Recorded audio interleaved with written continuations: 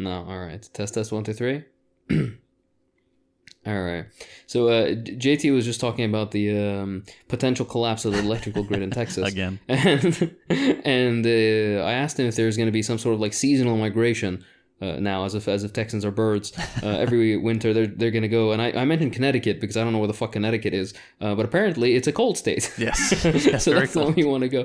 And, and JT mentioned it would be Florida instead. And for some reason in my mind I was like, hold on, wait, Texas doesn't short a, doesn't share a border with Florida, does it? And I went to fucking Google it because I, would couldn't give a shit less about. I'd love to see Yeah. you draw a map of the United States and like where you think the state borders are. I, I would. I, I That'd be fascinating. Look, I can. I think it's just I would just keep drawing squares. I think, and eventually, I, I know what Texas looks like, right? uh looks like a ba- like a bad snaggletooth, but everything else is just Yeah. squares. Uh, More or less, until you get to. California.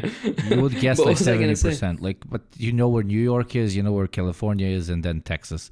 And no non-American knows about any of the other ones. Very true. Very true. Well, I was gonna say because I, I brought up the map and I, I'm looking at Texas and Florida, and there's these few states in between. Uh, La, What Miss, are these? Al, Al, and Ga. I'm like, okay, wait. L A is Louisiana. Yeah. MS is Mississippi. Yeah. AL is Al got- Gore. fucking Arkansas. I don't fucking know. Alabama, Is it Alabama. Arkansas? Alabama. Oh, wait, Arkansas. Is that a state? that's a city, isn't it? No, Isn't Arkansas. that AR? Isn't that AR Yeah, okay, 15, Uh-huh. baby? Yeah. Wait, hold on. G A. What You got it. fucking state You starts can with a this. G? It's a, it's also the name of Georgia. the country. Georgia. Oh, Georgia. Yes, Yes, the sweet, yes, sweet old country of Georgia. Man, I'm where, where, where Uncle Joe's from. All right, there we go. See, I, I appreciate the support. Just I mean, one has we're- like great wine and very hairy men. The other one has incest. So Yeah. yeah. I never understood why. Why do you have two Carolinas? Well, the one wasn't enough. Clearly. I mean, have you ever dated a Carolina? Dakota? You'll understand why you need two. Yeah. Mm, oh my lord. Oh lord. Uh, and of course, Nashville, Tennessee, the Nashville, Tennessee skyline, um, which apparently is a nightmare city. I've never been. I've never been to the U.S. at all, which I, I consider a blessing for myself. Honestly, alhamdulillah. I'm gonna take you to the worst places when you visit. Yeah. Yes, please. Okay, I want you to take me to Salt Lake City. That seems like no. You know, what? take me to Provo. You got it, sport. oh sport. my god. No, f- Spanish Fork. Fuck you. It's a place called Spanish Fork. My Okay, favorite no, thing is, is Hakim being fascinated with the United States names. Okay, hold on. I- I'm just gonna zoom into Iowa, which, by the way, there's nothing in there. Jesus Christ, Waterloo. All right, Mason City. D- oh, th- there's Des Moines or, or Des Moines, or whatever the fuck, Des it was- Moines. what the fuck it was called. oh my God, uh, Papillion, like like a what, like a papilloma? All right, nice. And Lincoln. Oh, is is Lincoln where the car manufacturer comes from? I, I doubt it. I have no idea. I, doubt it. It's it's named. I'm sure named after President Lincoln. So I'm. I, There are probably two dozen Lincolns in the country at least. You know what? Um, when the revolution happens, I'm gonna go settle me settle down myself in Casper, Wyoming. Okay, just to enjoy the the, the, the sweet air and the. Is there even a city here? Uh, they have the Casper Area Convention and Visitors Bureau, so that's uh okay, enough, enough, enough. I'm gonna be doing this forever.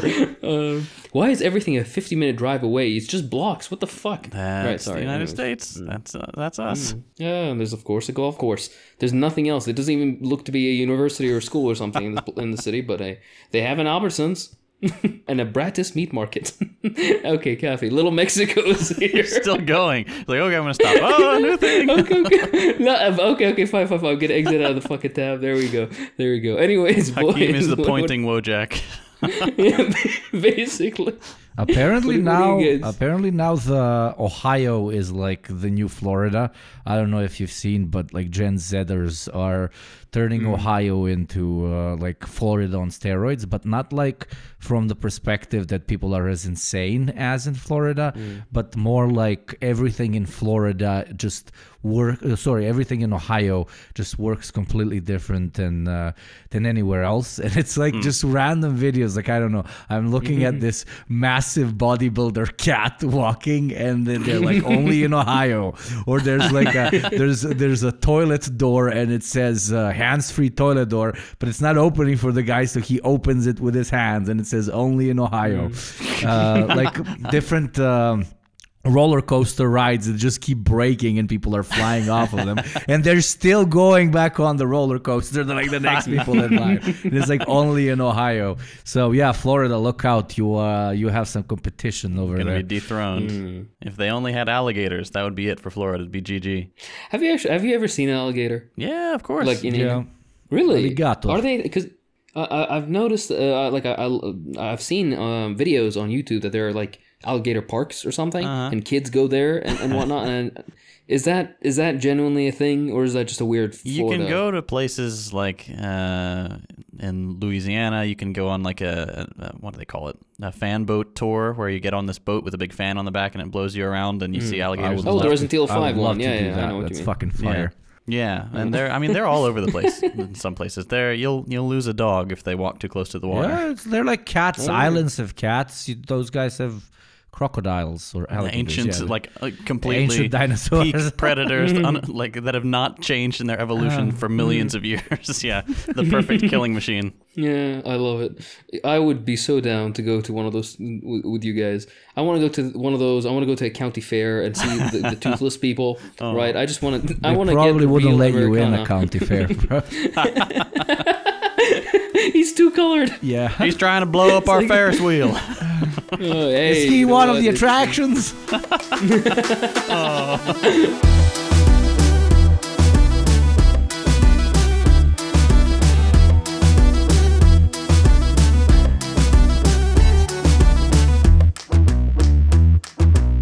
I'm dreaming of a white replacement. How's it going, everybody? It's I was not expecting that. Hail, Merry brother. Christmas. Yeah, Merry Christmas to all our uh, patrons. This is coming out for you on the 23rd. Everybody else gets to eat the slop a little bit after Christmas. So, uh, hope you all had a wonderful, uh, wonderful Christmas if you celebrate. If not, hope you had a wonderful 25th of December. I don't know what you people do on the 25th of December. Um, and a and a lovely New Year if it is uh, indeed after the New Year. I don't know. Uh, today we're going to be talking about um, Holidays. some positive stuff, some uh, some things that you have. it is positive. It's stuff that Yeah, uh, you have thanks to socialists, and well, I mean, there's there's some you know brutality along the way, as often happens uh, when we try to get more rights, more more benefits, things like that. But we wanted to talk about some vacations that we have thanks to socialist and uh, labor efforts, as well as some some perks we've picked up um, over the years. And vacations and holidays in general as a concept, as an idea, Yeah. as where it could go, as uh, what gave birth to it, uh, what even are holidays, what even are vacations, what even are like special moments, special days, and special dates that we take in order to, you know, dedicate it to like a particular person or movement or whatever. See, I'm, I'm, I'm spreading it. I'm giving us more space here, Yeah, bro. you're I'm giving us more episode. space. You're like, you're literally like, oh, we're gonna talk about socialist holidays. I'm like, no, man, that's gonna be ten minutes. Let's fucking. Your spread governor's this. looking at the at the Google Doc like, oh shit, here we go again. I'm gonna have to pad this with my rants. Uh, it's just a, it's a casual fireside Yeah. chat, okay? Oh, but instead of with Dennis chat. Prager, it's with it's with with uh, JT. Penis dragger, yes. Dennis Prager. My God! All right, what guys. ugly cunt he is. Jesus Shall we? Christ. Shall Sorry. we? Shall we start? I'll I'll start with the uh, the obvious one here. Labor wh- Day. No, but uh, I, I had a question before that. Yeah, we, go ahead. Let's talk about the, the Christmas holidays, I guess, a bit, and not just Oh, the yeah. Christmas, the the other two that people don't care, like the Jew thing. And you Muslim guys, you don't have one in these dates. It's like in the, in the other no. dates. I'm I'm joking, obviously. Hanukkah. When was Hanukkah? When did the when did the little funny hat people Isn't dance the- around? Oh my God! Isn't the last eight days of, of December? Yeah. It's a fairly like minor holiday, but just because it's close to Christmas, it's been kind of blown out of. I guess. at I least guess. that's my, my understanding. I of it. No, do not know. I it am- is, I it- am a failure. Funny enough, I, I go in here with this like off the cuff, like uh, semi anti Semitic shit, and I actually know it. I've been a few times. Yeah, it's around seven, eight days before the new year, and you know, they gather, share uh, stories, blah, blah, blah. Uh, all lovely. Also, Christmas celebrations, lovely. Orthodox Christian ones for the ones that are not fucking traitors and that switch their fucking calendar is uh, over in January 7th, I think. So it's after New Year's. And I, I loved watching one particular video of like Serbian Orthodox uh, people like 10th generation immigrants in the US or whatever, you know, having to like stomach through these massive Christmas celebrations on the 25th of December and then nobody doing anything for their own Christmas. So mm-hmm. in a in a very uh, Eastern Orthodox uh, Christian manner, they they uh, wanted to let everyone know that it's their Christmas and apparently it's a tradition in this one city where like uh, this is like like 300 years or 200 years of this these like Serbian families that live there. They basically just drive around town and shoot their guns in the air to celebrate said Christmas, which is always it, it's very interesting how like different particular you know we're not going to go into the anthropology of it all, but uh, even even when you have something that is that is generally celebrated, for example, like a religious holiday among uh, many different cultures who uh, follow said religion, you have uh, different local interpretations on how to particularly, let's call it, um, mark this particular occasion you know. There there is the the core of you know what the religion says if it's a religious holiday but then you know a lot of people play around with it depending on you know the the local culture that exists. And i guess serbs in the us shoot guns in the in the air. Other guys like to consume this type of food or that type of food is usual for that year. Some people have one type of tree other people have a different type of tree. But all in the wider wider definition of the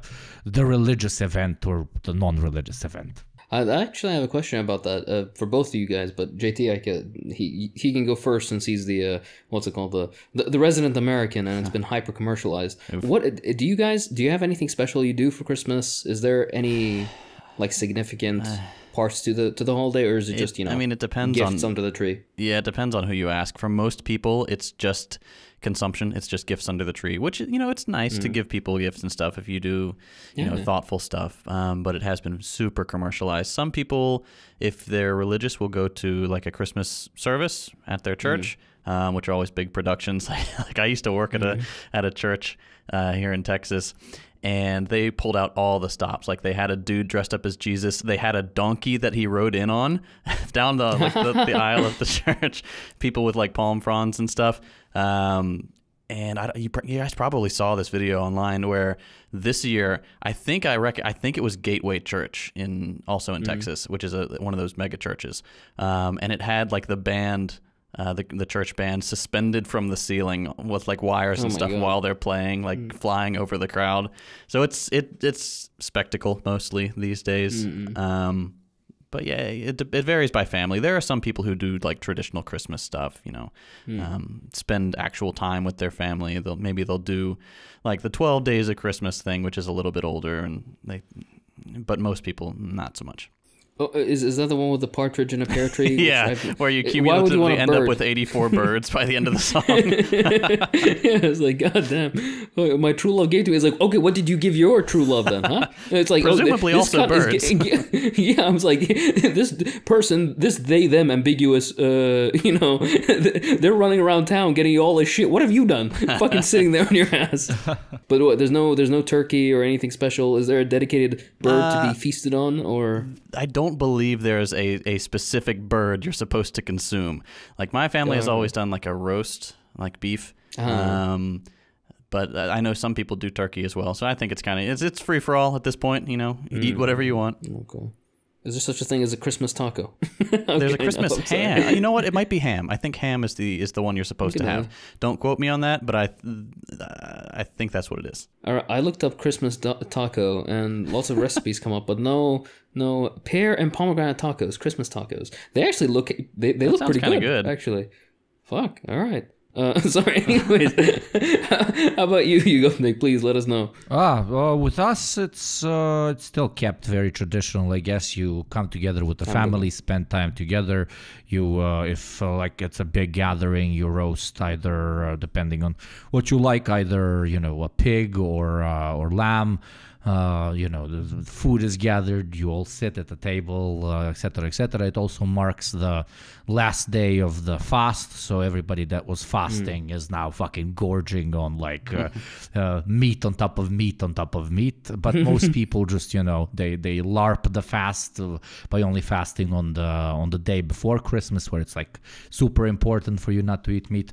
Uh, and then you know they enjoy the enjoy the next day. It's a it's a it's a chill holiday. Usually, people end up uh, celebrating it twice out of like mm. respect to people that celebrate on the 25th especially if they live abroad and then they celebrate it uh, on the on the 7th uh, as they say you know slavs always look for uh, additional reasons to have extra holidays to work less because mm. nice. because yes. they have a brain same like uh, south americans man i work with a lot of south mm, americans yeah. over at work their position in south america spaniards as well motherfuckers know how to live there's so many fucking mm. holidays filling out every single calendar that is the correct approach that is the correct mm. fucking approach. And not only that, but when they take days off or, or leave, uh, they save up more days and then they take them uh, uh, like connected. For example, three weeks mm-hmm. completely off, uh, and you spend a month proper properly relaxing and forgetting all about work. But that's in countries where you can uh, actually do this and where mm. the, your employer does not really have the right, unless it's an extreme circumstance, or you told them too late that to like refuse a particular vacation. Well, probably the the, the North American continent, that's not really a possibility for the majority of, mm. of hmm. jobs or whatever. But that's uh, too serious. Uh, one thing I've never seen, I've absolutely never seen, uh, and uh, I, I, guess it doesn't exist because like the LARPy right would be complaining about it at this point. Uh, like even the semi-homeless like uh, um, Santas that you know dress up in order to make a, a quick buck uh, during the cold uh, and fucked up mm. days of, of peak winter. I've never seen a black Santa. It's always white Santas. like the SJWs mm. have not reached Santa Claus. They haven't seen an Asia Santa. I haven't seen anything.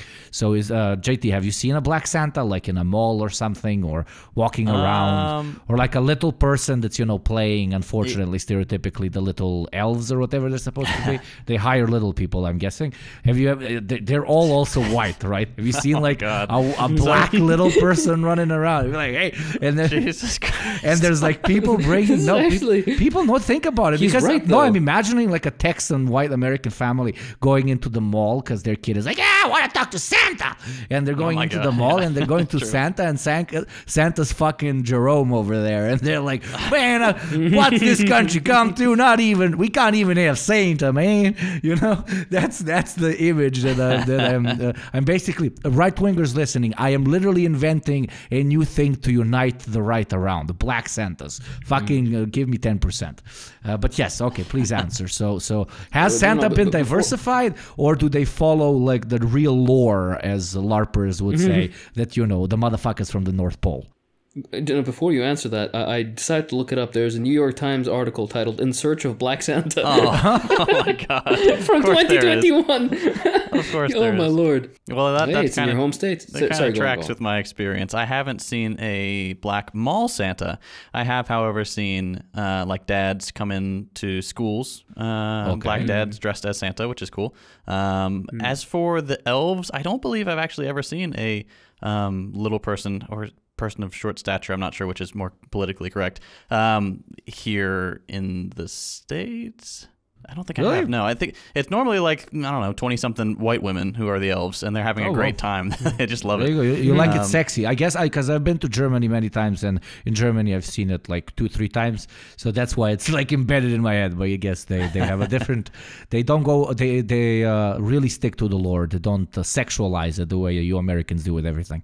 You see how I identified a woman being an elf with it being immediately sexualized. Immediately, yeah, yeah, yeah immediately. Yeah. Self whip, self whip. The, I'm sorry to say the comments on this article are are insane. It's it's like uh, uh 331 comments. I've never, I don't think I've ever seen 331 comments wow. on any New York Times article. Yeah. So uh, yeah, that, that who are these people you, who uh, comment on I, New York Times articles? I yeah, it's a it's a great topic to rile fucking batshit insane yeah, people around. Yeah. And I, you see, I, I invented it on the spot. dear listeners, I didn't like write this down before. I was thinking of American Christmas. I was thinking, okay, they're pissed off about oh Christmas. We all talked about the 700 times, you know, Christmas being stolen, and uh, you know now it's holidays. It's no longer a Christian holiday, but uh, they never racialized it up until now, and it was a great idea. Let's racialize Christmas, and just another way how to balkanize the United States. Mm. Guys, please, why does Santa Claus need to be politicized? Identity politics should be left out of oh Christmas. People have bigger things to worry about than Santa's racial characteristics. Says Dave from New Jersey. says the guy worrying about Santa's racial characteristics characteristics. Who cares? Oh my god, there's people doing race science in the fucking No. comments. It's like, it's like but but uh, Statistically, a black person cannot be jolly enough to be Santa Claus. not at all. It's a uh, or what was it? Uh, Well, um, uh, uh, Santa's guys, most please, please. famous because of his white beard, and we all know that uh, uh, black people have curly beards, and therefore it, it cannot look. The aesthetic would not be correct. X Guys, pressing hold X on. to hold doubt. A- Angus, brother of Fergus from British Columbia, says, "Well, Santa apparently, uh, well, apparently Santa needs to woke up a few notches. As cool as Black Santa looks, where is the Asian Santa, the GLBT, not LGBT, the GLBT Santa, the, Hisp- the Hispanic Santa, the physically challenged Santa, and what about Fuck Mrs. yeah. Claus or Miss Claus? Oh, Could she not yeah. be in a burqa? Could she not be in a burqa? if, if Christmas is about inclusion, this might be a solution. If it is rather about season's greetings as opposed to Merry Christmas, Oh which can include any season you want from a spring fling to Columbus Day, then perhaps it's not. I love it. Feed me, daddy. oh my god. Oh yes. Oh yes. Okay. And then there's people like Santa's not real. Wake up. Wake up. Out of your sleep. Oh, oh. fuck. Oh, oh, Welcome, okay, Joe okay, Biden. let's- let's Santa's not real. 9/11. Oh my god. Um, There's people joining in from Bermuda. It's like my white kids grew up. It's like white in brackets, so they have to specify that they have white. White kids. Oh, oh my god. That's too much. Oh lord. Okay, yeah, yeah, yeah, we'll, we'll, we'll, we'll move on. Yeah. Okay. Mm-hmm. Okay. well, a third of the way into the the episode here. Uh, let's let's speed People, run sorry, sorry, sorry. So people, people are talking about drug statistics in the comments. in the comments of the Santa thread. Yes, and the If we let the blacks be Santa, you know how many druggies are gonna. They're gonna drop crack down the chimney. Jesus Christ. Oh my god. Oh, Jesus. But if my Oh, neighborhood is let's- white only, then Santa won't be able to get the gifts for the kids. Oh my god. Security guy won't let him in. Oh He's like, but I'm literally Santa. Like, nah, man, no. And then racial profanities. post- yeah.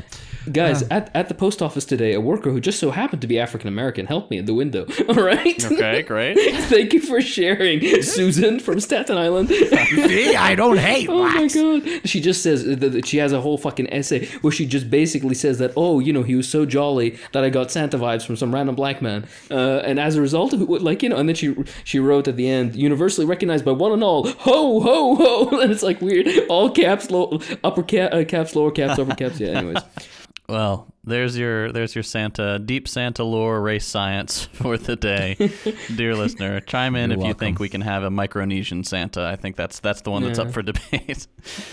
Or some All right. other, or some other typically white character that we can uh, intentionally ruin for rightoid cucks. Moving on to what was originally the the topic of this episode, but I'm kind of glad we've derailed it into into Christmas memes. It's Um, the holidays. We talked about Christmas. This motherfucker. I swear to God. Please continue.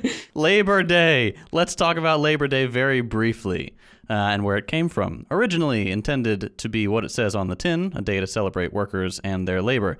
Uh, today, it's kind of just seen as a like a three day weekend uh, before kids go back to school and people will will grill and stuff. They'll get real grill pilled. Um, the first Labor Day was held in 1882 in New York City, orchestrated by the city's Central Labor Union. Uh, the organizers of the earliest Labor Day celebrations, they wanted a way to bring different kinds of unionized workers together to develop a critical mass of militant labor power, which, you know, great plan. But this was uh, not exactly approved by by those in power, but it's just something that that uh, union organizers went ahead and did. They said we're going to do a thing. We're going to make it a holiday, basically. Uh, Labor Day originally wasn't just meant to be a celebration, but a way to bring attention uh, to the fact that many workers were forced to work stupid, ridiculous hours. Like the average manufacturing worker was routinely putting in uh, 60 hour weeks in those days. And shortly before, like a decade or so before, it was 70 hour weeks uh, were the norm. Um, their demands were pretty simple a reduction in work hours and more days off during the week. And it's only thanks to these workers that we have the 40 hour work week and two day weekends today, which we will get to when we talk about the eight hour workday. But as far as Labor Day goes, is that something that you guys have? Do you have something similar to that? Has it? Uh, do you have a day honoring workers? Yeah, like we uh, have the actual day. Yeah, like You have the May Day, entire yeah. planet, the entire planet, Yeah. and then Canada and the U.S. just do it on a different day. May Day, baby. Canada too. May Day. Yeah, had no Canada too. Yeah, man. It's it's it's uh, cock by association. Yeah, I see. United States' hat. Yeah. Oh my god, uh, hat is the, is a very polite way of putting it. I think it's more as more akin to what Yugopnik said, but uh, yeah. fair enough. Sorry, Yugopnik, you were saying. No, the- yeah, but what uh, we, me and Hakim implied. uh, So Labor Day uh, in the rest of the world is usually called May Day or Workers' Day, or most commonly International Workers' Day. Uh, keep keyword being international again for everyone except like two countries, uh, which is celebrated on the first of May. The, the the reason it works really well well is because in a lot of cultures, uh, especially that exist kind of on the center of what we imagine the Eurocentric. Uh, world map uh, is basically from uh, northern Europe all the way down to the south through Central Africa, etc., etc. May Day, the first of May, has was often celebrated as a as a big holiday, the coming of spring, etc., etc. So that kind of being embedded in generations and generations of kind of even pre-socialist and pre-capitalist societies, and then sprinkled on top with be having been chosen by I think it was the Second International as like the the uh, uh, workers' uh, holiday, made it like really uh, let's call it uh, embedded in uh, in people's in people's minds. Where I'm from, it's very commonly celebrated, and even during socialist times, they try to make a very nice combination between still respecting like the traditional, you know, even pre-Christian or whatever celebrations of May Day, which is you know you go out and you appreciate the nature, you appreciate spring, you go and you camp usually next to like a nice river. It can be for a few days, it can just be for a few hours or whatever, but then you also celebrate it as a workers' day. That's the particularity of kind of where I'm from. I know that, for example, in many countries in Western Europe, it is only the the latter. You know, you go out in the street and you fucking uh, make your voice uh, heard for whatever uh, particular reason your union or your uh, left-leaning uh, organization uh, stands for. It's a super fucking cool holiday. Everybody goes red. It's a it's a day where you can you can potentially, depending on where you're at, really even find a potentially an organization that you would uh, uh, feel like uh, potentially joining. Because if they're on the streets, they they probably are doing something, not just you know, larping at it. It's a it's a it's a day of solidarity. It's a day of uh, of remembering that no matter how uh, I guess scarce it is to to find uh, uh, open out in the world communists on the street. Uh, the, when you go through May Day in like the city center, walking next to thousands of people in certain cases, it's it's a very nice uh, motiv- like motivational moment Yeah. where you do realize that you're really genuinely not as alone as you would think. Uh, a moment that is much more intense than uh, no matter how many online hangouts are organized with lovely comrades, but comrades tens of thousands of kilometers away from you. Uh, I guess that, in my opinion, is the the main relevancy of May Day today as it as it is because it's it's a, it's a rallying moment, a rallying day, a wake up call of sorts for uh, for most uh, commies. For you, Hakim, Yeah, uh, in a sort of, it's- very similar. Um, it's the same like general presentation. People will go out and have their little. No, I I don't want to say demonstrations, but you'll have people with waving the red flag, you know, and it's a very what's the word to, to use? Uh, like there's a lot of exposure to to leftists at in that particular, and, and also it's great timing of the year. Generally, I mean, not in our regions, but all over the world, it's usually very nice weather. Um, so it's the sort of thing where people also do events. So there won't even there won't just be a demonstration or a march or something. But there will also be like grilling and barbecuing this kind of stuff and people getting together. It's very nice. Um, there will also be extremely intricate, um, mm, like minute uh, sectarian like infighting uh, that, that gets like that reaches a pinnacle during the, the May first, right? And you'll have two indivi- two groups who are basically exactly the same, except for some stupid thing from 1972, like one resolution that they disagree on from like 50 years ago, and then they're going to be marching next to each other, calling each other revisionists. It's beautiful. with the speakers usually the, the leader like they would hear one group chant a particular name that the other group doesn't like and then you know the leader Yeah. of the other group that dislikes the other the, the first group that chanted the name is going to use the big speaker and be like no to for example authoritarian figures. Oh, and then like and then there's going to be a bunch of motherfuckers that try to hijack like uh, hijack it like oh vegan animal rights groups or whatever. It's like okay great. No you do you bro. But like really today like what the fuck man? Uh, you're dressed in purple or some know. shit. What the fuck is it? But yeah yeah. And then you know the uh, anprims come and then it's like you see like all these fucking but no it's it's nice. It's, it's still nice. After a few hours uh, nobody really has uh, the animosity anymore because of just how nice and large the event becomes. Mm. Yeah. and after the event Exactly uh, ends they all split uh, into their own like events as hakim said that they that they organize. Some motherfuckers are streaming some like old movies. Some are doing like hangouts uh, and free food. Some are uh, Music, so much music. Mm. so much music. Some are doing live band performances. Everybody's Yeah, trying to it's my favorite. Mm. attach to one or the other like demographic i guess.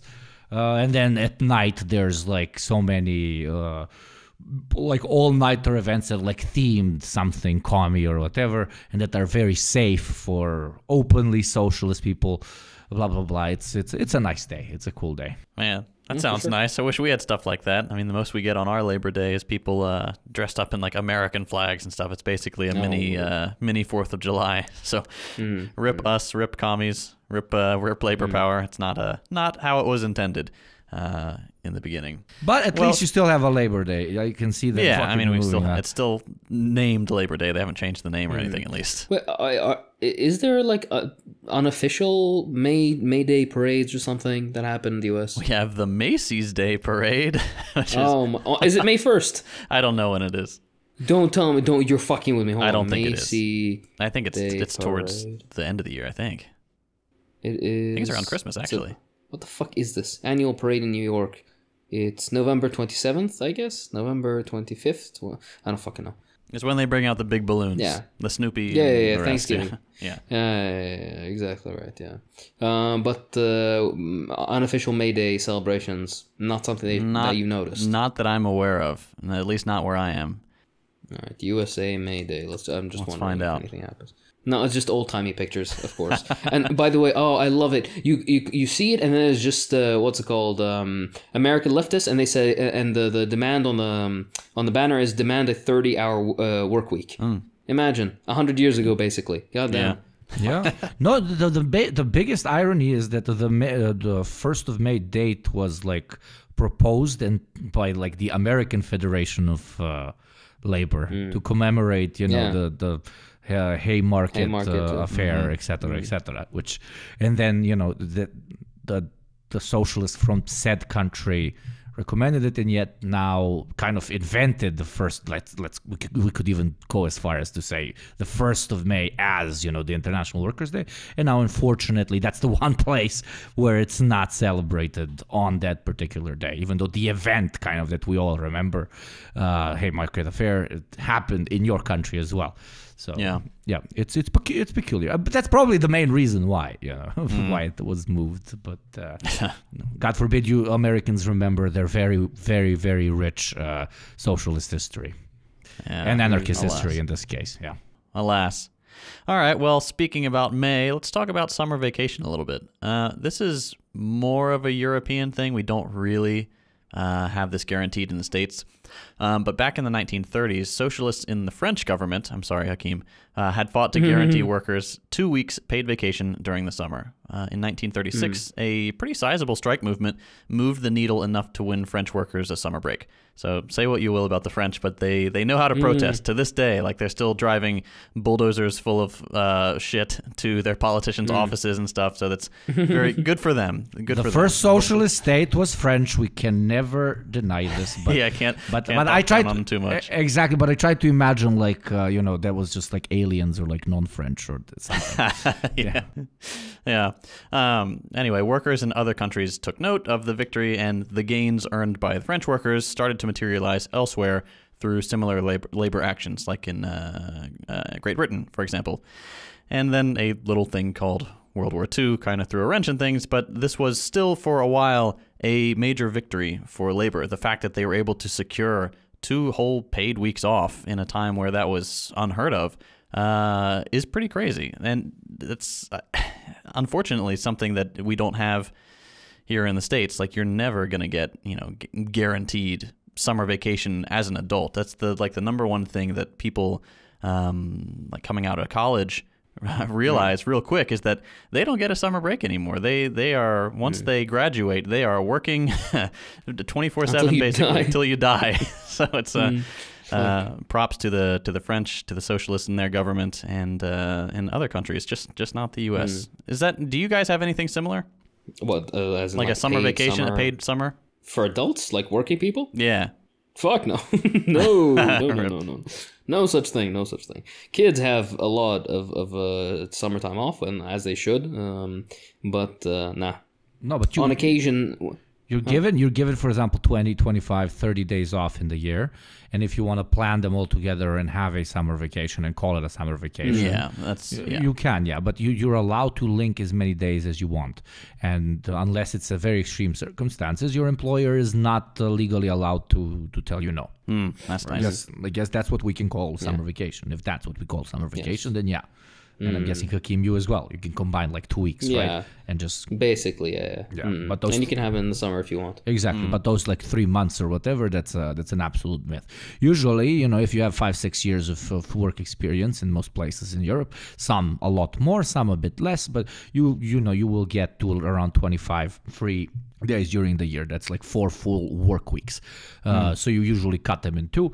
Uh, two weeks you go on on summer vacation. You know, either uh, usually to the seaside or whatever, and another one week or two weeks you go up to the mountain and you I don't know either walk around or ski or whatever the fuck you want to do, and uh, that balances out. You know, in the winter and then in the summer, because without those two larger vacations, uh, I think most people would lose their shit. So I don't know how you Yanks fucking do this thing, or other people people like cut them up throughout the throughout the whole year. Take two days off here, take two days off there. Take, yeah, I'm I'm more of that guy because I don't really. I used to ski or whatever, but not my thing anymore. So I don't do uh, winter vacations.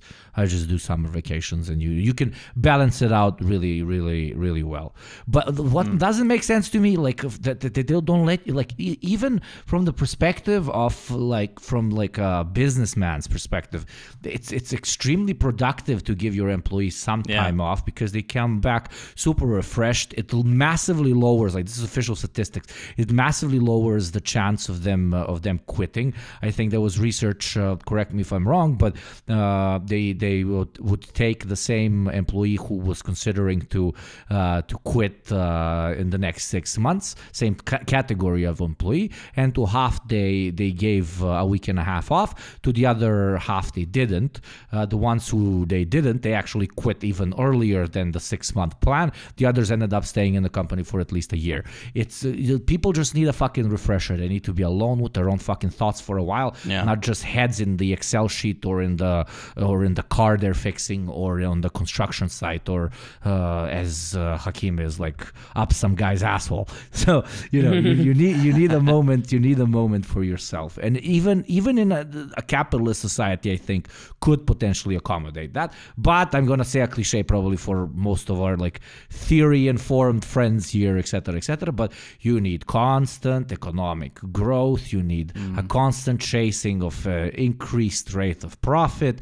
And in order, and if you do not have any technological advancement or improvement of said product that you are offering, the only way for you to increase said profitability is to work your employees harder and harder and harder and therefore uh, that that directly leads to giving them less days off and less time off.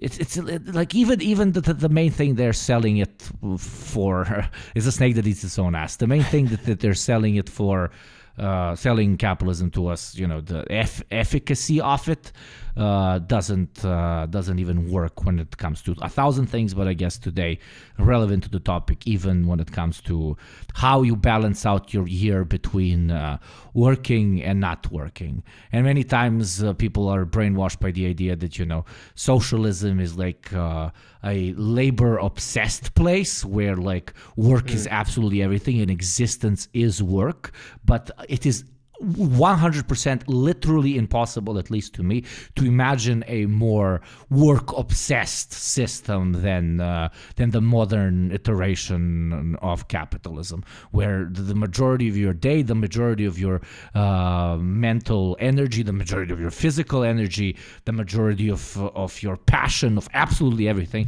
just goes into into the fucking job. And now they're not even letting you go swim in a fucking lake for three, four days a fucking year. I mean if this mm. works for you, you're a fucking monkey. I don't know.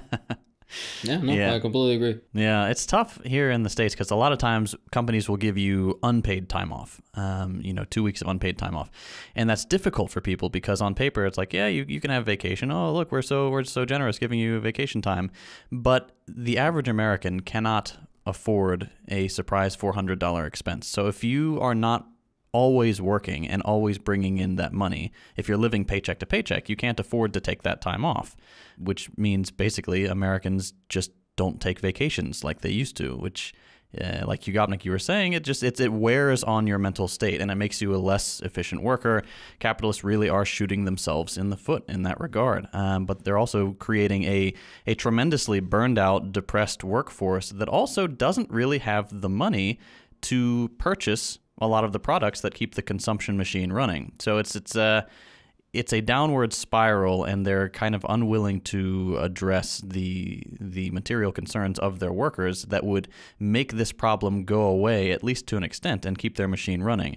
Um, but that's that's not how the system operates. They need to operate on on razor thin margins. They need to be trimming the fat in every possible way, uh, and that's going to end up biting them in the ass in the long run beautifully put and they don't like and it's not as if they don't address it at all uh, people work more, people have less money, etc., etc. So we can address it by either paying them more money or giving them more free time, or in the best case uh, scenario, give them both things. As we mm. have currently established, you cannot do either of those. So instead, you give them concepts like, uh, you know, you're middle class, even though you literally own nothing. Yeah. You are like so deep in fucking loans in order for you to have what mm. you define as the middle class uh, house or or car or fucking I don't know, motherfuckers thousand dollar bicycles now or some shit. You have the newest phone, you have the newest uh, computer, your gaming fucking levels are through the fucking charts, etc., etc. They, they do address it, but they address it by telling you, no, no, man, you're a- you're actually pretty fucking good. Yeah. Look at how bad the other motherfucker has.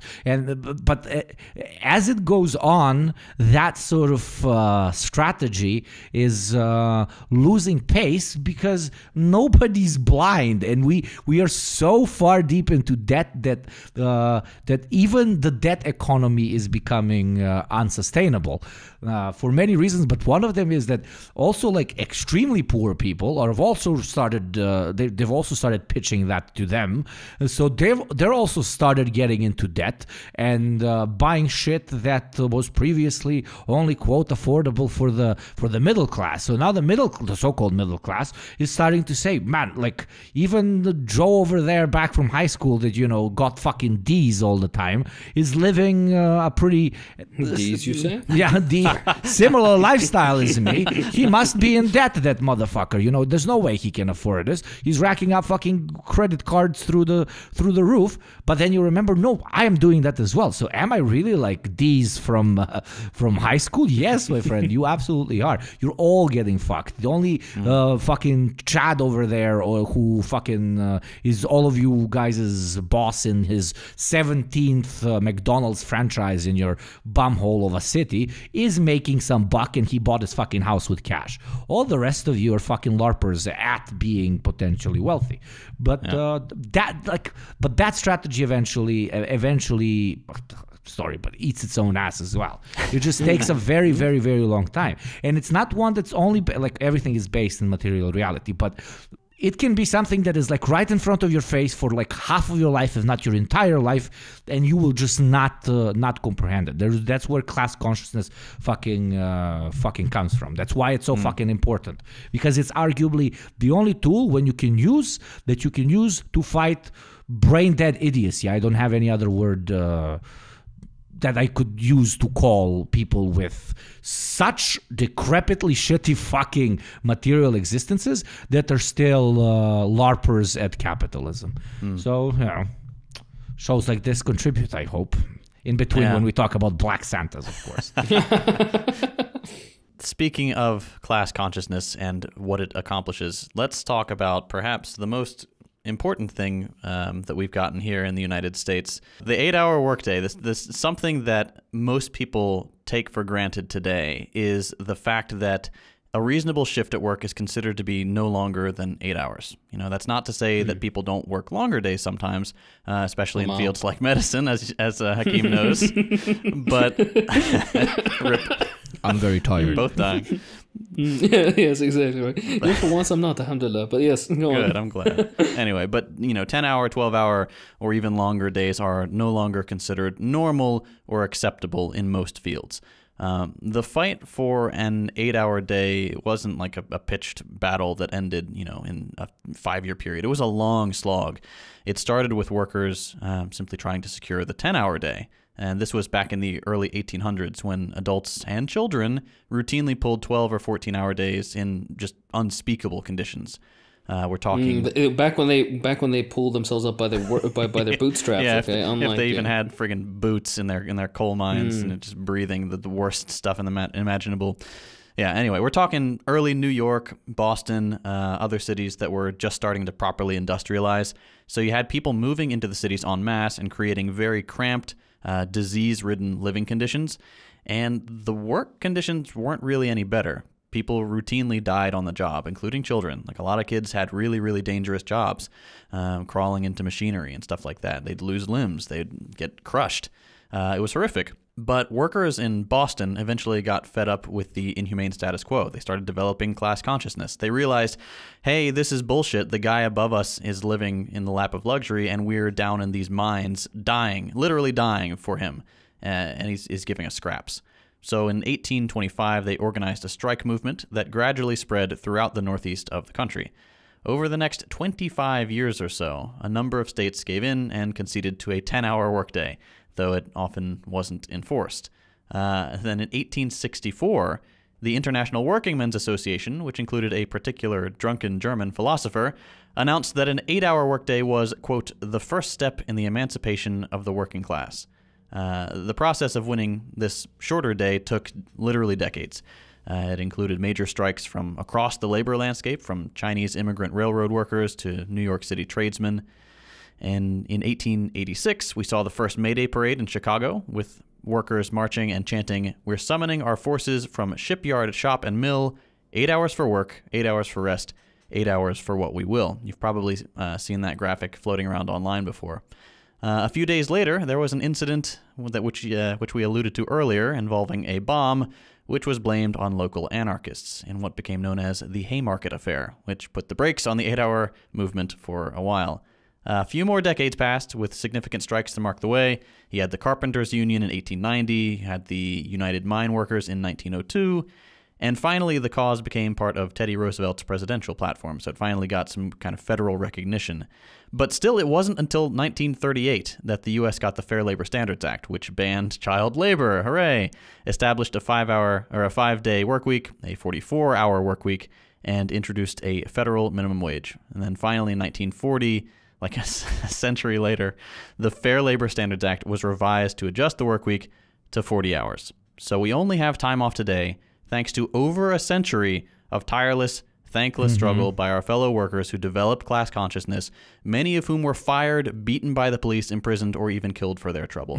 This is the difference um, in perspective between back then and today. I think like today we we don't have this this mass class consciousness. We don't even have a, a little bit of it. We think, oh, what what can I do as a single worker? And Or we're good, man. This is so good. Look at these guys. They Yeah, had a which is 10 hour even more work week. depressing. Woo, woo, woo. Yeah, is It's cock it's- mentality.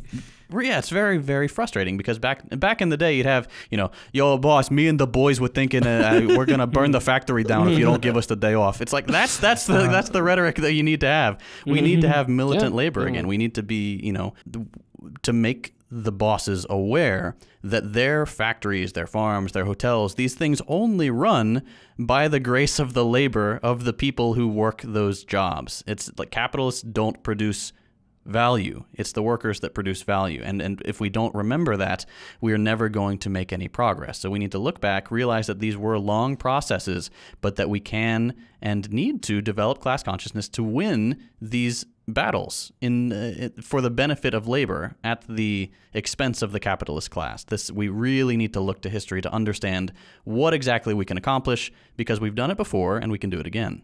Beautifully put. Yeah, yeah, no, exactly right. But the thing is that, and this is the the, the annoying thing, a lot of the time you'll hear, uh, particularly when uh, you see the the pundits speak, right? The the sh- the, shapi- the shapipis and, and the shabubus, right? when they'll talk about this stuff, it's like, oh yeah, but capitalism's lifted so many people out of poverty. Uh, you have, uh, thanks to capitalism, you know, you have all this time off, and you have uh, healthcare, and you have this and that, and, and basically they, they they take every good that uh, labor agitation has brought humanity, and then try to twist it basically as, oh no, this is just the uh, how benevolent the system is that it will bestow upon you these um all, all these great things. Uh, and a good thing to keep in mind about all this is number one, they're full of shit, and you know they're full of shit. But number two, at the end of the day. Even these sort of things can be considered to be concessions. Yeah. They're fairly well entrenched. Yes, that's true. We're not most likely we're not going to see somebody abolishing the weekend anytime soon, right? But you know. you have to remember that at some point it was very normal for you to work 16 hour days, 14 hour days, your kids to work, and for you to have basically no time off. Yeah. Uh, including weekends. So that's not you shouldn't be. Um, You can't it's take a, it for it's a granted. cycle of con- Yeah. exactly, yeah, and it's a cycle of continuous agitation for f- further and further uh, concessions. And by the way, uh, it's been like almost hundred years now since we settled on an eight-hour workday and having the weekend off and whatnot. Uh, the five hours that we, uh, the the five days that we work in the week, etc., etc. Now it's a step for to go even further because our pri- uh, productivity as individual workers has skyrocketed beyond imagination. At this point, we should be working 25, 30 hour uh, weeks, if even it, it, most likely less. In part, yeah, if, if even that. So um, educate, agitate, organize. Um, the more we fight for a better future, the more likely we're actually going to win it, um, and not to get complacent because complacency is the first step to uh, having all this stuff be taken away. Exactly. Anyways, yeah, that was, that was just my point. Very well said. Yeah, it's something that we we think this is just how it is or how it's always been. And that's not the case, nor will it always be the case. We we have a lot of us here in the Imperial Core have this the, still this end of history mentality where it's like, all right, we've reached the pinnacle. All we can do now is kind of polish things up a little bit, make it uh, look a little nicer. Maybe eh, maybe we can help out the homeless people a little bit through various charities, but you know we're not pushing for anything more because you know we've got everything we need. Everything's all right. We're all we're all good here, and that's it's not a good mindset to have. You shouldn't be content with the scraps that we've been tossed. Yeah, and, and here where Hakim and me, for example, could come into into discussion, that into discussion as a, as a comment to this sort of rhetoric is, you know, usually they come to you, uh, especially in the in the developed West, and they tell you, okay, it's easy for you to complain, but what we have here is uh, so much better than what a lot of people in the developing world would kill for, and uh, they use that as an argument for you not to strive towards betterment.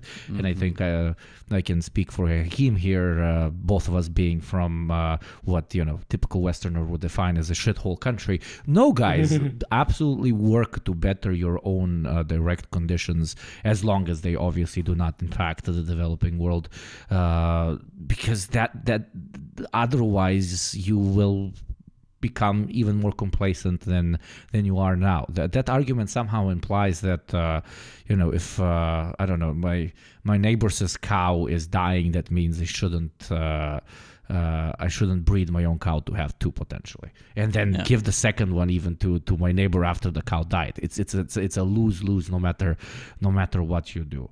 Uh, but it's being sold like uh, that's what pisses me off. Uh, complacency is being sold as a, is a sort of virtue of modesty, of being like you know, be grateful to the Lord for what uh, He has given you and. Uh, mm-hmm don't ask for more because like usually people you know go with the fucking oh we are living in the best best times in history you know what it was like to live during the fucking black plague or something bro right. and they think it's such a deep fucking comment and yes i am very mm. fucking grateful to to everything everyone that has given me the life that i live right now i'm very fucking grateful that i've been born now but mm. we have no idea what awaits us in 200 300 700 2000 uh, 2000 years but i can answer you know what awaits us stagnation and potential degradation if we do not do our purpose in this generation to keep pushing the the human experiment uh, forward. Like if every single like when we first invented i don't know when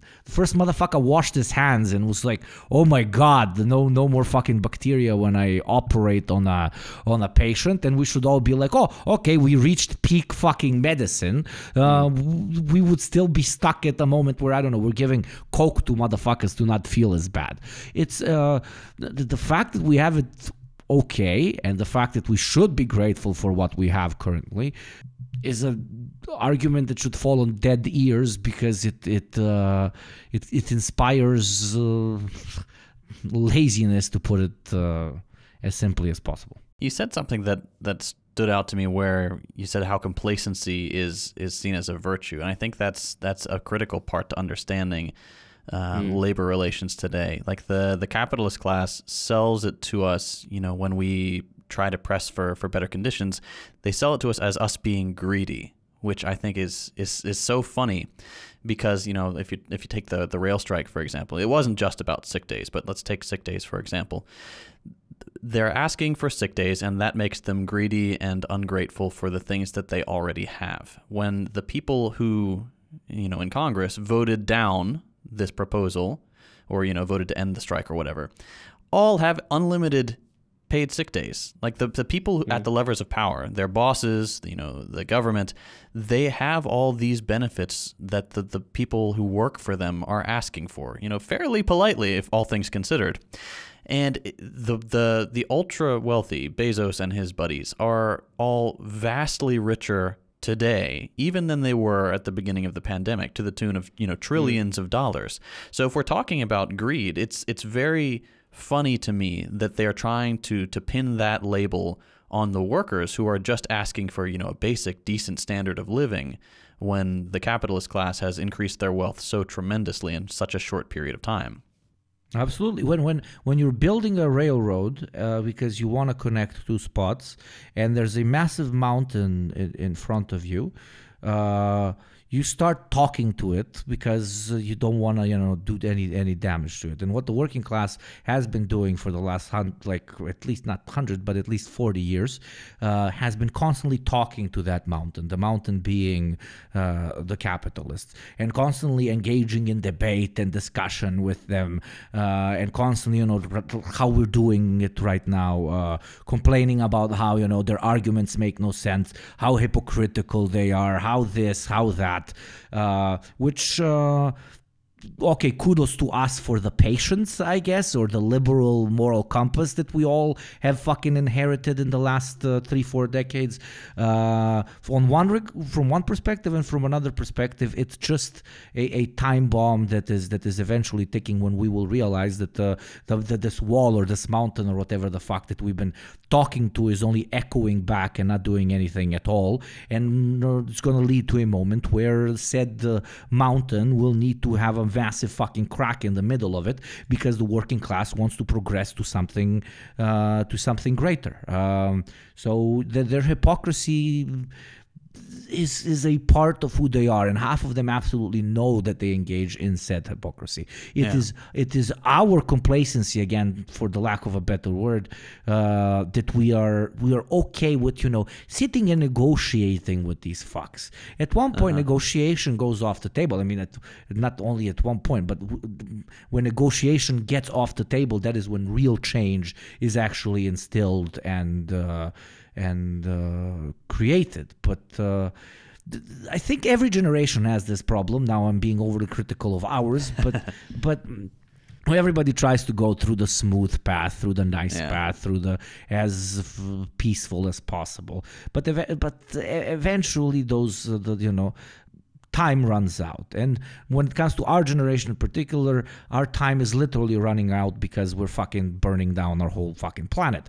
So uh, if other motherfuckers before us realized on time that talking with these motherfuckers leads to absolutely nothing and how do I say this without getting arrested? Did something about it, uh, and, and the planet wasn't dying around them. At least they didn't know that it was dying around Yeah. them. And we know our planet is dying around them, and still we're sitting at the table negotiating with these fucks for like fucking what uh, sick days. Yeah. Uh, We are the ones who are being the idiots, and uh, you know, kudos to the enemy, I guess, because they're fucking us up the ass, and it seems like we're fucking liking it. Right. And that's not to blame the workers too much. Like we we it's it's been a constant propaganda machine. They've got incredibly course. successful. Yeah, yeah.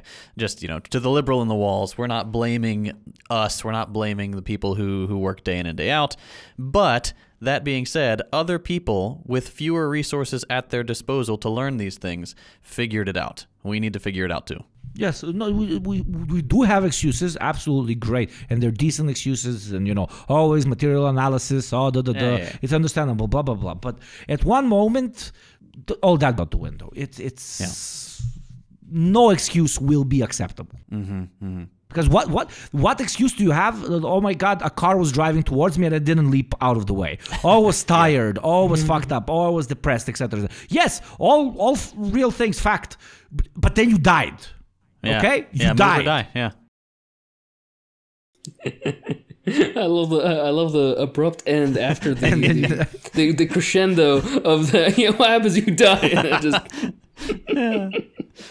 oh my god The LDR move out of the Would fucking be- way of the car, or actually sabotage the car so it doesn't fucking drive. If you know what I mean. Hello, listener. Editor JT here. The following two ish minutes were entirely too spicy to leave unbleeped, so here, please enjoy this brief interlude of Austin native band Goat and Your Mom. Like a duck when you suck? Can you look like a horse when you? Can you take every inch of butt? Can you my chest? Can you? Can you like a duck when you suck? Now back to the show. All right, we had a brief detour there that I. Ho ho ho! yeah. we'll see what JT will salvage yeah, we'll see what I do with that. Um, anyway, I hope you guys enjoyed this this episode. I think it was fun. Uh, I think we had some good Santa memes. Uh, We've concluded that Santa can be black, um, probably Samoan. I think as well uh, is acceptable. um, but we'll leave that up to you guys. You tell us what you think. in I the- would love a Maori comments. Santa, Maori Santa that you know does the traditional dance. Fucking epic. Oh yes, absolutely. Anyway, uh, happy holidays, Merry Christmas, all that good stuff. Can't wait to see you guys Yes. all in 2023 and see what uh, fresh horrors Oh, await Lord, us I'm in old. the new year. So- man-made horrors beyond my comprehension. sweet. beyond my comprehension. anyway, this has been the Deprogram. I'm JT. I'm Hakim. and I'm Yugopnik. And I'm Peter Griffin.